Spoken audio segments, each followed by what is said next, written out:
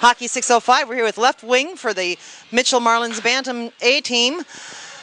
Payton Olson, right? Mm-hmm. You guys had a great game this morning, or was that this afternoon? This afternoon at 1 o'clock. Yeah, after about four or five games, I start losing track of what time they happen. Um, how long have you been playing hockey, Payton? Um, since I, I started skating when I was three and I started playing when I was five. Have you always played here in Mitchell? Yes. What is, what made you decide to start playing?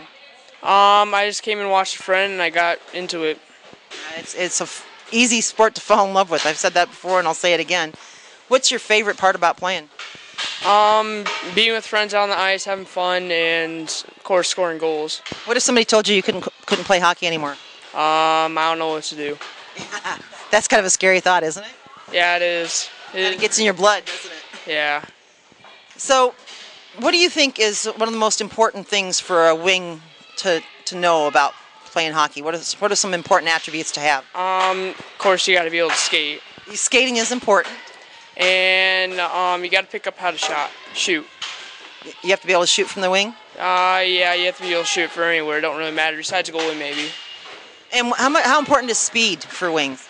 Um, it's it is very important because you have to get off get off when you get the pass and pass it up, and then you have to get hurry up and get up to your line mates. And your job is to collect the puck and get it in there to the attacking players, Mostly, unless you have a shot yourself. yeah. And when you have a shot yourself, what do you do?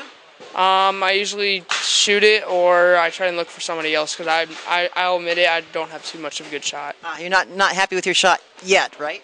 No, not yet. Keep working on it, but when the shot's there, you got to take it because it really becomes a matter of how many shots everybody gets off. I think you guys had 50 shots in that game. 52. Maybe I'm not too sure. Yeah, I was I was kind of counting. It was a pretty high shot shot count there. So you guys have um, next up. You're going to be playing Tri City. What's your what's your strategy strategy for these guys?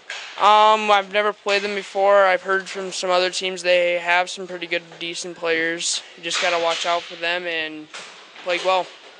Play the game, right? Yeah, let it flow. Go with it. Well, we're looking forward to this next game, Payton. Thanks for taking time with us at Hockey 605.